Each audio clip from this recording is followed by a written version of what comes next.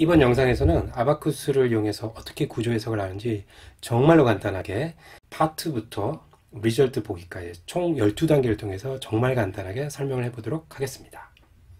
파트를 선택을 하겠습니다.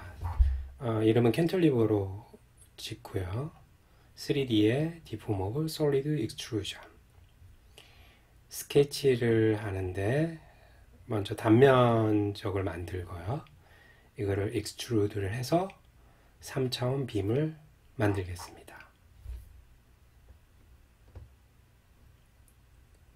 다음은 material 지정인데 일반적인 스틸 재료인 elastic material을 부여를 하겠습니다. 210 기가파스칼과 0.3 Poisson ratio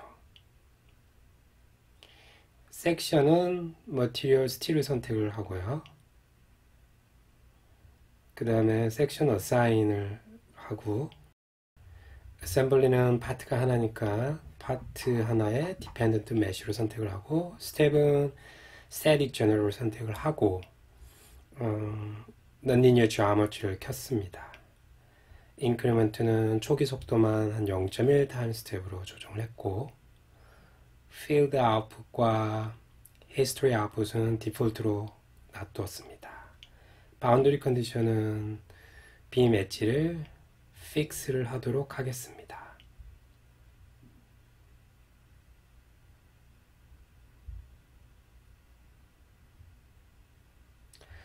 load는 어, concentrated force로 또 빔 반대편에 어, 노드에 직접 nodal force 형태로 지정을 하도록 하겠습니다.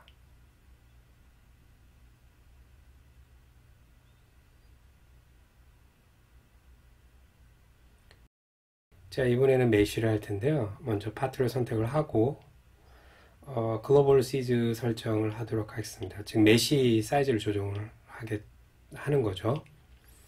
그리고 element type을 지정을 할 텐데 element는 일반적인 스탠다드 3D 스트레스를 선택을 했습니다. 그리고 오더는 linear의 incompatible mode를 한번 선택해 봤습니다. mesh가 되었죠 자, mesh가 완성이 됐으면 이제 job submit을 하도록 하겠습니다. job으로 가서 모델을 선택을 하고 submit을 눌러줍니다. 자, 보면 input 파일이 던져졌고 run이 되다 이제 계산이 완료가 됐죠. result를 보면 displacement를 보았고요. 네, deformed scale을 조정하면 과장되게 보거나 작게 볼 수 있습니다. 마지막으로 stress를 한번 볼까요? 어, S33이 텐사일과 컴프레시브 스트레스를 볼 수 있겠죠.